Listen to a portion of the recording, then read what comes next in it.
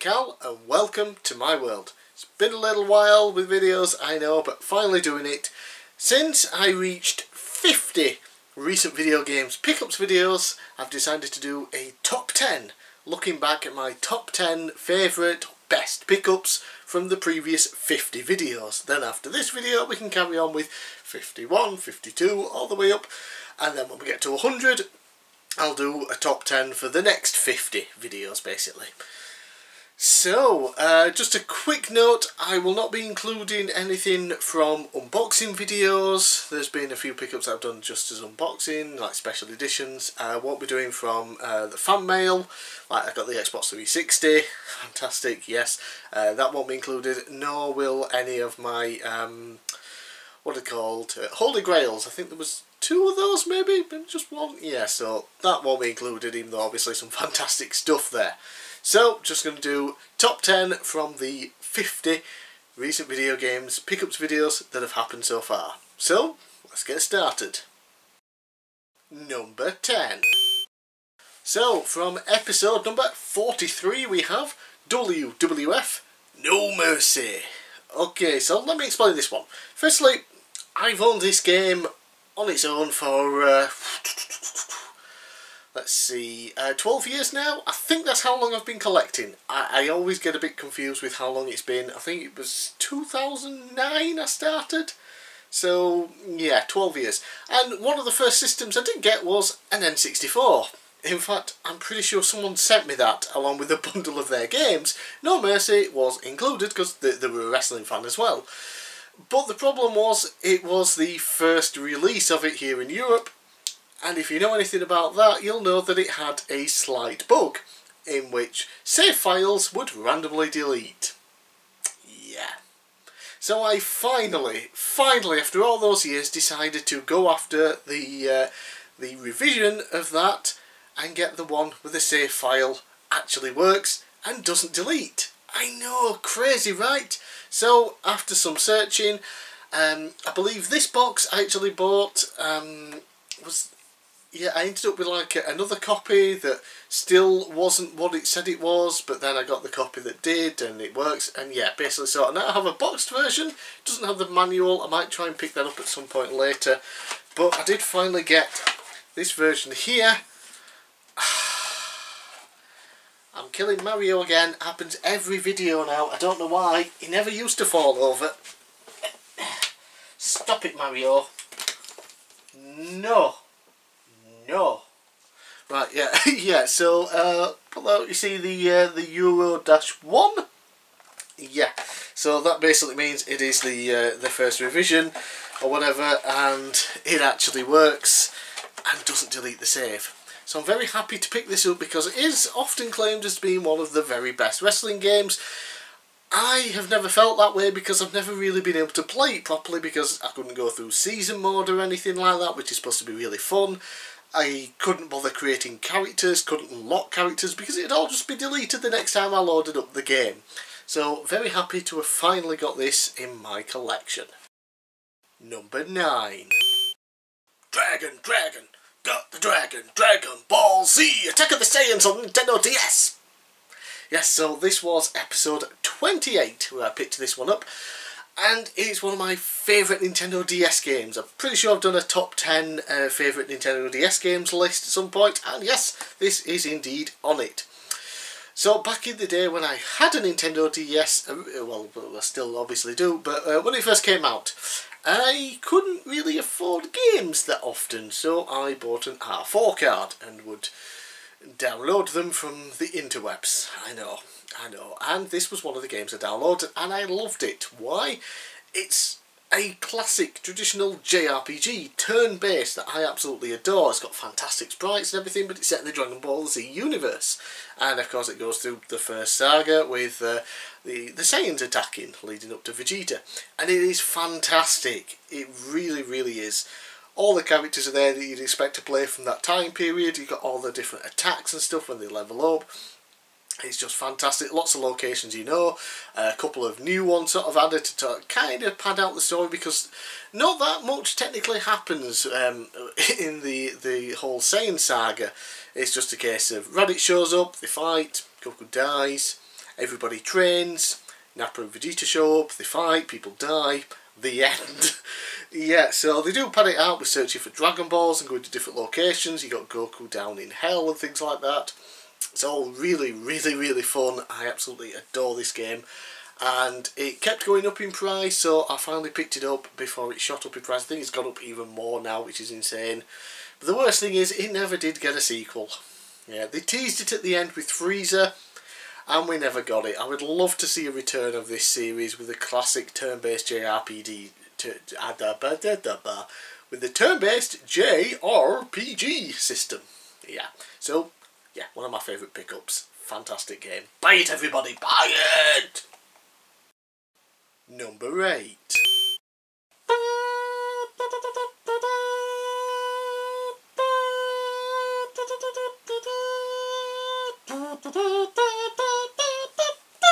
Dragon Quest 11. yeah, so Dragon Quest 11 Echoes of an Elusive Age, uh, edition of light version, here on the PlayStation 4. Now, I'm a massive, massive, massive fan of Dragon Quest, as I'm sure most of you know, and spoiler, not the only Dragon Quest game on this list. yeah, but despite the fact that I love Dragon Quest and I finally got into the series, this was the first game that I was able to play brand new as it came out. Everything else I played after the fact because I was late to the series and we had to wait um, a bunch of years between Dragon Quest 9 and Dragon Quest 11 because 10 is a, a, an MMO style game only released in Japan so we never got it. So yeah this was my first brand new experience with Dragon Quest and it is one of the greatest games I've ever played in my life, truth be told. It was my game of the year when it came out on PS4. It was my game of the year the following year when it came out on Nintendo Switch. And yeah, it's just one of my favourite games. I absolutely adore this game. But here is the original version on the PlayStation 4. Yes, it doesn't have the orchestral soundtrack. Yes, we don't have the 2D mode, nor do we have the extra content that we did get in the Switch version and then re-released again on PS4 and even Xbox. Uh, but yeah, this first experience was still fantastic to me. I still absolutely adore this game. And let's see, what this was from episode 32 by the way. Yeah.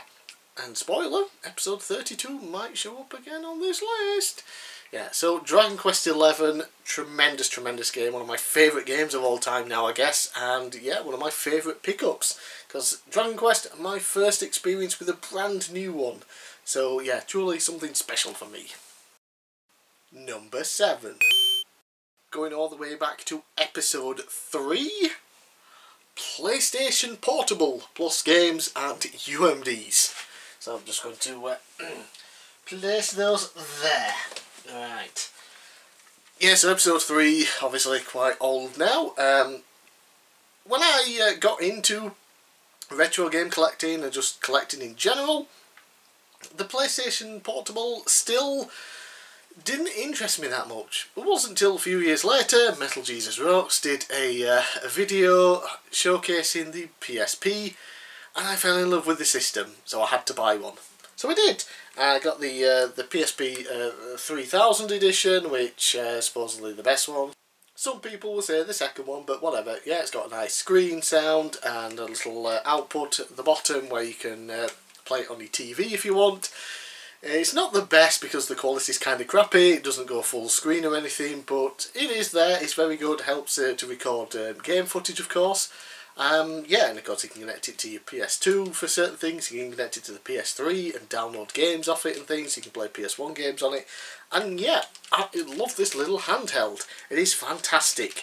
I really like the design of it, would have been better obviously with two analog sticks, maybe another set of shoulder buttons, but what are you going to do? What counts is the games that were on it, and there are a ton. I got a bunch when I first bought it. I just sort of went all out, bought the system and a bundle of games and UMD movies as well. Yes, you could get films on it, and they come on these nice little discs that go in here. Yeah, and I just adore the system. So let's just have a quick rundown of what games that I showed off in episode 3. And then the movie show we had uh, KO Challengers, the uh, yeah. I think it's the uh, the second game, but just sort of put onto the um, the PSP and named differently, or something like that. Yeah, that was weird. Uh, we have Little Big Planet on the handheld. Honestly, not a big fan of that game at all. So we have um,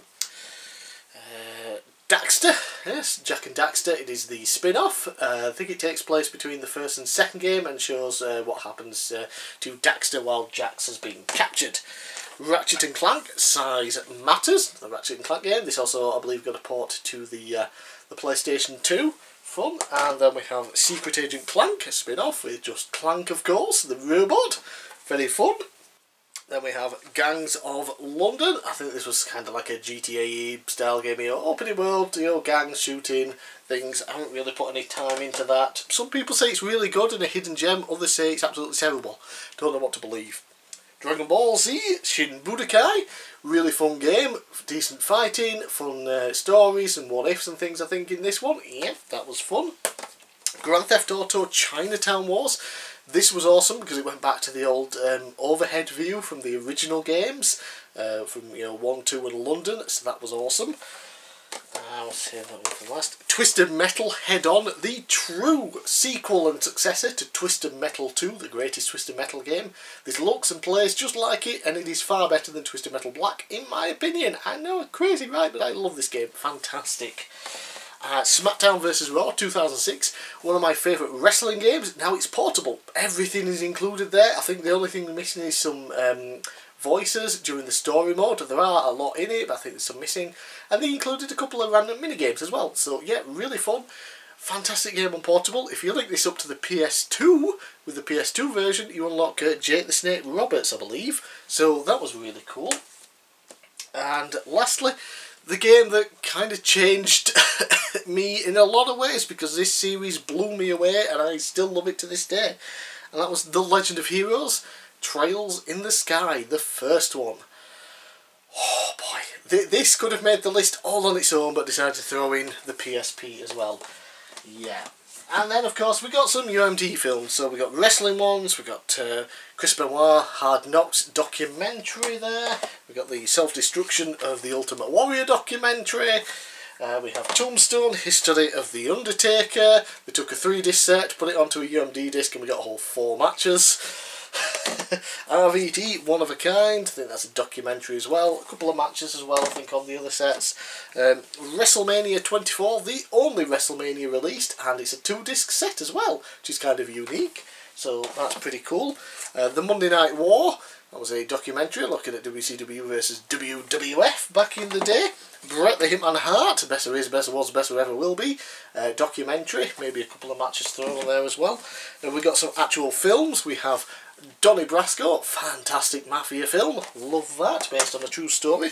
We have 2004's The Punisher, my favourite uh, Punisher film. The series is obviously fantastic. Uh, it's not the uh, the extended edition, unfortunately, but yep, still a really good film in my opinion.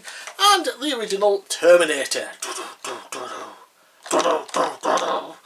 Uh, fortunately, Terminator 2, incredibly rare, incredibly expensive, Region 2. Yeah, so those were, from Episode 3, PSP, games and movies. What a wonderful pickup that was. Number 6. Yeah, it's Dragon Quest again. I did say that Dragon Quest 11 was not the only one on the list, so this is from, if I just look at my notes, episode 40 and it is Dragon Quest. Mario died. Look at his leg. Look at him the poor bugger. Yeah, I don't even think an extra life mushroom's gonna fix that mate. Ugh.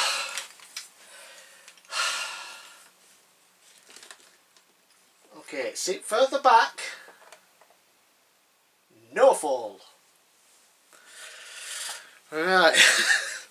Where were we? Dragon Quest V from episode 40 on the Nintendo DS. Obviously it originally came out the Super Nintendo. We never got it in English back then. It even got a PS2 release, also not in English. Did it come out on PS1 as well? I don't remember. But yeah, Dragon Quest V, uh, Hand of the Heavenly Bride, yes. It is often put up there as one of the very best Dragon Quest games. So of course when I got into the series I wanted to play it. Except this one was always very expensive. The other ones at the time were fairly cheap. They, they've all shot up in price now, but this one was always expensive when I started getting into the series. So it took me a while to get hold of this one. And in fact, a famous story I've told many times on this channel, when I went to the uh, gaming market in Doncaster a few years ago, I saw this and I wasn't sure at first if I was going to pick it up because of the price so I walked around to see if I could find it cheaper got to sort of I'm ready to go home. It's like no I'm going to go and pick it up. So I rushed to the stall that it was on picked it up handed over the cash got home. When I got home uh, I was showing my mum what I'd bought and when I pulled this out it was Dragon Quest IV, which I already owned and I paid a bit too much for it because I thought it was Dragon Quest 5 fail yeah so I had to buy this not again, but technically you know, for the first time, and it was brand new and sealed. It is the US version, so you got the thin black case, but I don't care about that. It's English, DS, you know, region free, plays them fine. So it was brand new, it was sealed, and it was supposed to be £70, uh, but I had an Amazon voucher for £40, so yeah, cost me considerably less. And got it brand new, sealed, and it, yeah, it is fantastic. It is one of the best Dragon Quest games. So I was so happy to finally own it. I even got a brand new sealed copy, which was awesome. I got it nice and cheap compared to what it should have been because of that free Amazon voucher I had. Yeah, and yeah, it's a tremendous game. Probably top three Dragon Quest games. Just off the top of my head. Maybe, yeah, top three, I think. It's fantastic anyway. If you get the chance to play it, for the love of God, play it. It is an amazing game it's very depressing in a lot of ways. The main character goes through some real shit in it, but it's really fun. It goes through a long time period from when he was a kid to an adult. Lots of stuff, crazy things happen in between. There are lots of big story choices that affect how the game continues on and ends. Yep, so uh, definitely worth picking up. An amazing pickup for me personally. Number 5. So, I already mentioned uh, earlier with Twisted Metal Head On that the best Twisted Metal is Twisted Metal 2. And of course that was on PlayStation 1. Twisted Metal 3 and Twisted Metal 4 came out on PS1 and they were not good. They changed uh, developers and oh boy, they just did not live up to what Twisted Metal 2 was. However, there was another game on PlayStation 1. Now, 3 and 4 never came out here in Europe, so yeah, I, don't own them at the moment because they are expensive. I do want them for the collection. Yeah, but a lot of people still knew of them. It was kind of easy to get hold of them over here with uh, copies. Sorry, a bit of sore throat there. It was quite easy for people to get hold of them through various means. But there was another one that a lot of people just didn't know about because I think it came out a little bit later. People were kind of moving on to PlayStation 2 at this point, maybe. Uh, or maybe they just got tired of the series because 3 and 4 were crap. Not me. I picked this one up, excuse me, I picked this one up back in the day, uh, not quite uh, legally, and I had a blast with it. So when I had the chance to pick this one up, um, an original copy, um, obviously imported from America, it cost me not as much as I was expecting, so I got a good price on it. Uh, this was, by the way, from ooh, episode 9. Yeah, so happy to have added this to my collection. It is Twisted Metal Small Brawl on the PlayStation 1. So what this one does with the series is you still have all the classic vehicles that you would expect, a couple of new ones as well, but the drivers are different.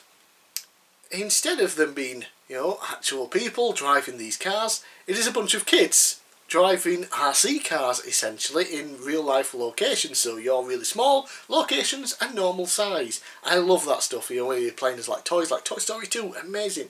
So yeah, you're basically playing RC car Twisted Metal, and it is awesome. The locations are fantastic. It looks, controls, and plays basically like Twisted Metal 2. Yeah, I always had a blast with this one. I do have some issues recording footage of it though. I just can't seem to get it done properly. I've tried Emulator, uh, the PS1 Classic, put the thing on there, run it through the PlayStation 2, um, Region 3 mod and things, and it always just plays in slow motion, and I don't understand it.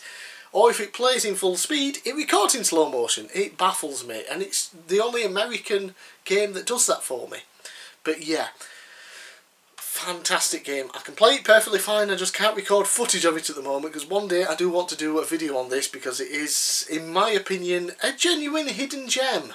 Because not a lot of people still know about it, I'll just completely pass it up because it was Twisted Metal after Twisted Metal 2, nobody really cared, yeah, but this is a wonderful, wonderful game.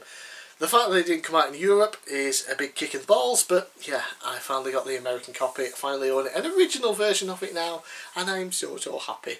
I love you, Twisted Metal. I love you too, Cal. You're the best. I know, but you're pretty good too. Yeah, but I'm not Twisted Metal 2 World Tour. Well, that's true, but what game is? You're really good for being you. Yeah, that's true. I'm not crazy. You're crazy. Number four. How should I describe this one? Uh, so it's from episode 14. Yoshi! That'll do. Yoshi's Woolly World on Nintendo Wii U, and it's the uh, the special edition that comes with a green Yarn Yoshi amiibo, and it is adorable. Look at the Yoshi! He's made of wool. Look at the Yoshi! Yeah, so I got this for my birthday from my best friends. So thank you once again. This was obviously many years ago. And this uh, this game is just tremendous. I adore this. It is one of my favourites of that entire generation, you know, spanning sort of you know, PS3, Xbox 360, PC, 3DS, DS, Wii, Wii U, whatever. It was confusing because the Wii U sort of came out in the middle of generations. But yeah, it is just such an amazing game so I was so happy to have got this and added it obviously to my pickups video. It's an incredible game, it just looks amazing. It was obviously the first um, HD system from Nintendo. Everything was sort of made out of yarn and wool and whatever and it just, it, to this day the, the visuals stand up amazingly. The gameplay is top notch. Just incredible. The soundtrack is superb just everything about that game I adore. I have done a full video review on this actually, one of my favourite videos I've done. I think I really did the game justice in that. It's not. I'll do a lot of videos, and often after I've sort of put them out, it's like I could have done this. I should have said that. Why did I do that? But with this one, I think I got everything across I wanted to. Showed the game exactly how it should have been shown. Yeah, an amazing game. I was so happy to add this to my collection. It is just fantastic. And honestly, I would love to see a Switch port of it. I know people, oh, Wii U games to Switch port, you know, it's a pain in the ass. And yeah, it kind of sucks for me because I owned a Wii U. I have almost all the Wii U games worth owning, and Switch has kind of been lacking as of late in original games. We keep getting ports, and yeah, it's a bit iffy. But this is definitely one I would love to see on Switch with the improved visuals, which would be outstanding and more people would finally get to play it. Yeah, it came out on the 3DS, but obviously that version's on a handheld. It's not quite as nice, but yeah, this one. Please give Switch port. Amazing game. Me like it lots. Number three. Uh, going back again to the PSP uh, listing, uh, there was one game there in particular that I really highlighted, and that was The Legend of Heroes Trails in the Sky. And that series was just fantastically wonderful. Loved the first game, loved the second game. Third game exists. It it's decent enough, but it kind of feels like a side piece rather than a, a sequel sort of thing. But yeah. And then I found out that the series continued on with a sort of a new series, but still had you know the lore and the world building of the other games, and everything would tie in. And that was, of course, Trails of Cold Steel. The first one here, the PlayStation 4 version, it did come out on PS3 as well, 1 and 2 did, and I do own them digitally, but I never got around to playing them. And then I finally just forked out for the PS4 version. I got here the uh, uh, Decisive Edition, which came with some goodies in this big box, and yeah, this was the start of my epic love affair with the Legend of Heroes Trails series it is truly amazing. I've just finished up playing Trails of Cold Steel 4 for the second time, but the first time on the Switch. I've played through 1 and 2 twice now. I've played through 3 three times and the fourth one twice. And I just I, just cannot get enough of this series. I cannot wait for the uh, the next ones. The um, one's already out in Japan, another one's been announced. I can't wait for them to come out in English, hopefully, eventually. Then we have the uh, the Crossbell arc, the two games. Uh, they've never come out in English, but uh, Geofront has done an amazing job with the fan translation of Trails from Zero. Trails to Azure, the sequel, is coming out any day now. It's coming out this month. I cannot wait to play that. I really want to play it. But yeah, Trails of Cold Steel. It took what I loved with uh, Trails in the Sky and just amped everything up. It gave me more and more and more.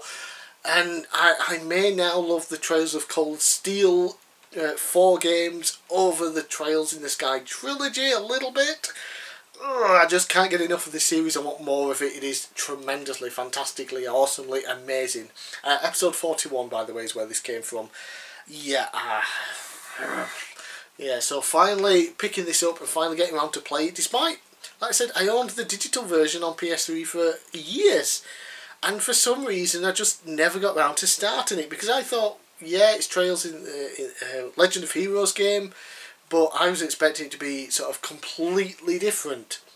I didn't realise it connected and tied in so much to the Trails in the Sky games. If I did know that, I probably would have played it through on PS3. But I'm glad I did get the PS4 version as well, it being enhanced and things visually. The speed mode, where you can um, you know play through it a lot faster, it was so much better. Um, it's too slow on PS3 for my liking, so the PS4 version was where to go. Lovely pickup, wonderful pickup, absolutely adore this game and the series that followed.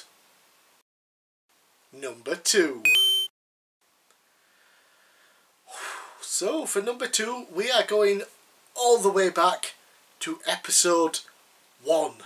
The very first recent video games pickups video I ever did and I'm also um, have two games here because they were both included and they both you know joined together. I'm sure you've guessed it already if you remember what the hell was in episode one.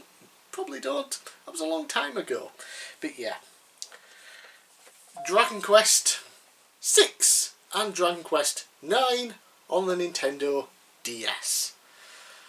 These were the first two Dragon Quest games I ever played. Bought them at the same time. They were brand new, sealed. I got them from Argos over here. Every so often they sort of do these crazy sales and it they, they were like £7 and £9 brand new and sealed. Good luck getting these for that kind of price these days, even pre-owned obviously. So I played Dragon Quest Six first, of course. It was a, um, a reimagining of the uh, the Super Nintendo game. It had some nicer graphics now, a couple of extra features. People will still sort of say that the SNES versions have some things over this version that this version doesn't have. Whatever. I adored it. Fantastic story, incredible gameplay, and then of course Dragon Quest Nine was purposely built for the DS. So this was the closest to a new game that I got to play with Dragon Quest before 11 came out. It had already been out a few years before I bought it. And it was obviously in 3D now, so we've gone from the 2D sort of 16-bit style to a proper 3D one. That was my first experience with that. And it still played and looked and sounded fantastic. I kind of wish I got it brand new because there was a whole online thing with like um, treasure maps and caves and things uh, so I did miss out on some of the content in it, which is kind of disappointing. But the standard base game without any online is still incredible. Great story, loved this. Loved them so much that at the time my original DS kind of broke. The hinge broke on it. I'm sure a lot of you are aware of that happening. Mine didn't break through tearing or wear and tear. I accidentally dropped mine and a chunk of plastic from the hinge broke off and over time the rest of the hinge would just fall off and you literally have the top screen and the bottom screen held together with the ribbon cable. I played through both of these games 60 hours I think for Dragon Quest 6, about 50 hours for Dragon Quest 9. With the broken DS I would have to hold the top screen up while I played the game. These were so fantastic that I suffered through playing both of them for that length of time with a broken DS. Yeah, so once I got started with these, that's where I fell in love with the Dragon Quest series. Yeah, I finally played all the mainline games, you know, 1 to 11 minus 10 because that's never come out in English. I finally played through all of those uh, last year. I finally got around to playing them all. Got a bunch of the spin-offs that I played as well, the Dragon Quest Monsters games, uh, the Dragon Quest Builders. Adore the series, and it all started episode one of recent video game pickups with these two beauties. so, that only leaves one question then. What the hell is number one? Number one.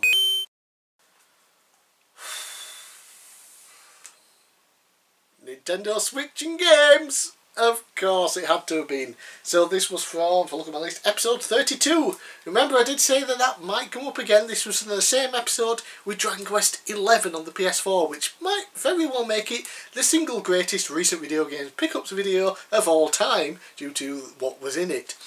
Yeah, so the Switch had been out for a year before I finally was able to get one. Uh, got it uh, for my birthday, although I got it a month early. Um, it was a birthday present, uh, well half of it was a birthday present um, for my 30th birthday, the other half I had to pay for. This is what it is, you know, uh, still very very happy. Um, so yeah, I got that and a bundle of games. Now not all the games uh, were out at the time, but when I got around to doing a video on it, this is what was out.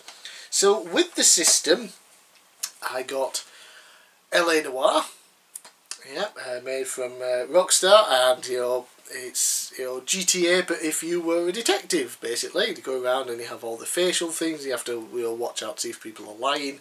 Very interesting, very cool to have on a handheld, of course. Super Mario Odyssey had to pick up you know, the the big 3D platformer for the system, of course, and this is currently just sort of tied with Super Mario World as my absolute favourite Mario game it is just incredible. Love that to death. So I had those two games from the start and then I bought a few other games afterwards and my birthday was the next month.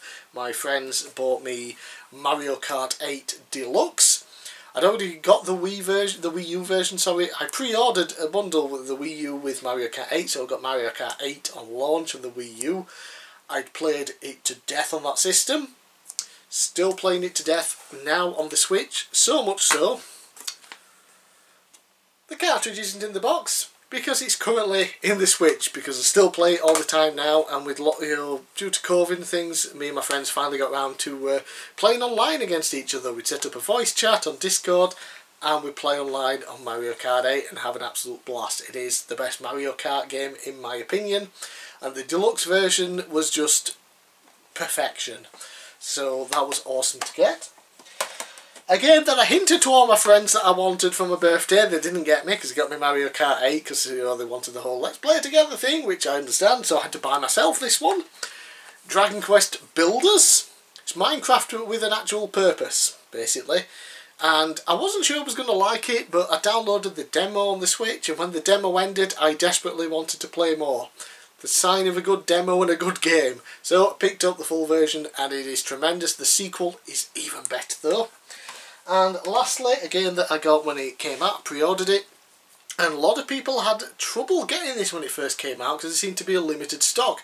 I'm not sure they, they realised it was going to be as popular as it was.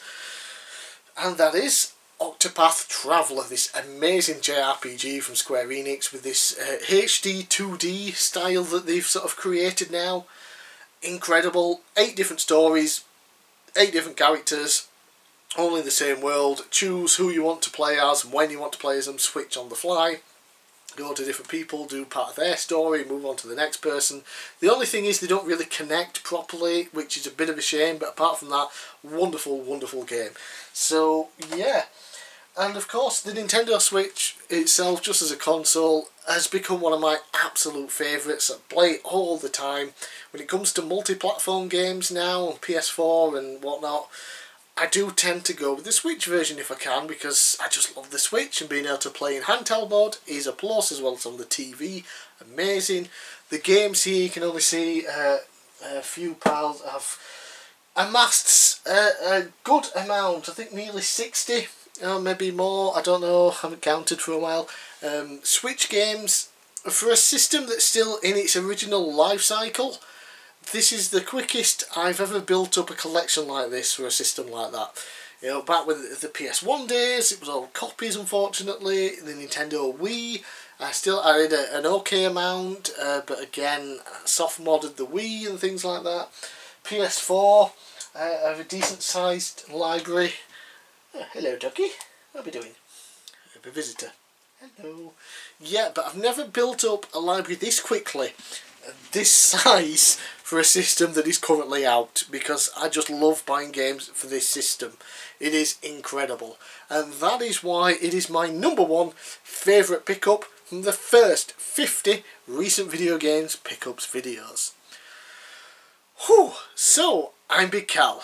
Thanks for watching. Let me know down in the comments below what you thought of my top 10. Let me know if there's any that you thought would have been in my top 10 that I missed out.